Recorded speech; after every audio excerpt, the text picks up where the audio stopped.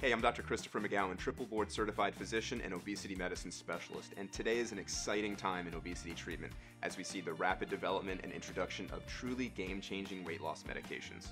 Currently, the two most effective medications are Wegovy or semaglutide and Zepbound, which is tirzepatide. So Wegovy was FDA approved for obesity treatment in June 2021, and with the recent FDA approval of Zepbound for obesity, many people wonder how are these two medications different and how do they compare? So let's dive into how each medication works, the potential side effects, and how effective they are. First, let's look at how these medications work. So both semaglutide and tirzepatide are polypeptides that boost naturally occurring hormones in the body.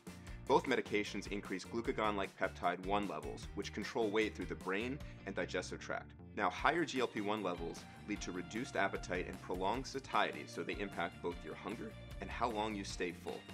They also help manage glucose levels, making them effective treatments for diabetes. Semaglutide, or Wegovy, only impacts GLP-1.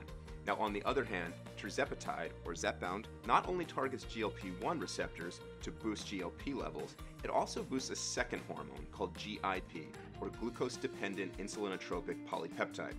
GIP regulates weight through receptors in the brain and fat cells. Now, the actions of GLP-1 and GIP are synergistic, boosting each other's effects. Thus, tirzepatide combines action at both GLP and GIP-1 receptors. So how are these medications taken? Both medications are taken via a weekly injection under the skin using single-use disposable pens. We increase the dose gradually over a 4 to 5 month time period for both medications, reaching a maximum dose of 2.4 milligrams for semaglutide and 15 milligrams for tirzepatide. However, their milligram strengths shouldn't be directly compared. So let's talk about side effects. Now, since both medications impact GLP-1, they share similar side effects, including nausea, diarrhea, and constipation. Most side effects are mild and temporary, occurring during the dose escalation period. In the SURMOUNT-1 study of tirzepatide and the STEP-1 trial of semaglutide, around 5 to 7% of patients stopped treatment due to these side effects. Rare side effects for both medications could include pancreatitis, gallbladder disease, and gallstones, and they both carry a black box warning related to medullary thyroid cancer, which was a risk seen in rodent studies. Now, anecdotally, some patients report fewer side effects with tirzepatide compared to semaglutide. However, this feedback hasn't yet been supported by clinical studies. All right, so let's talk about effectiveness. This is really the crucial question. How much weight will you lose with Wegovy versus Zepbound? So first of all, there are no head-to-head studies yet. Lilly Pharmaceuticals plans a 700 patient trial called SURMOUNT 5 to directly address this question, but that is scheduled to conclude in 2025.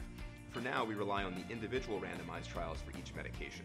So if you look at the STEP 1 trial for Wegovy, the average weight loss at 68 weeks of treatment was 14.9% of body weight with the 2.4 milligram dose.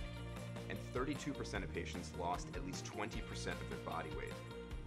In the SURMOUNT-1 trial of Zepbound, the average weight loss at 72 weeks was 20.9% with the 15 milligram dose, and 50% of patients lost at least 20% of their body weight. Based on these studies, tirzepatide appears more effective.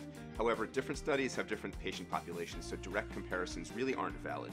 Now, both medications are clearly more effective than previous weight loss medications and produce clinically meaningful impacts on overall health.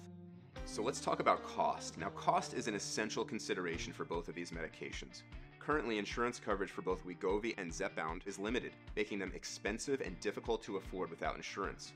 While prices may change over time, the average monthly cost for both medications is approximately $1,000 or more.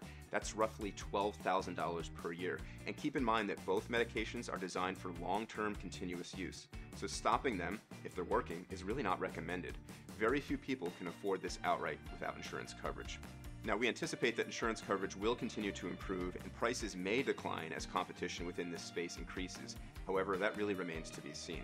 At True You Weight Loss, we've seen hundreds of patients experience significant success with both of these medications.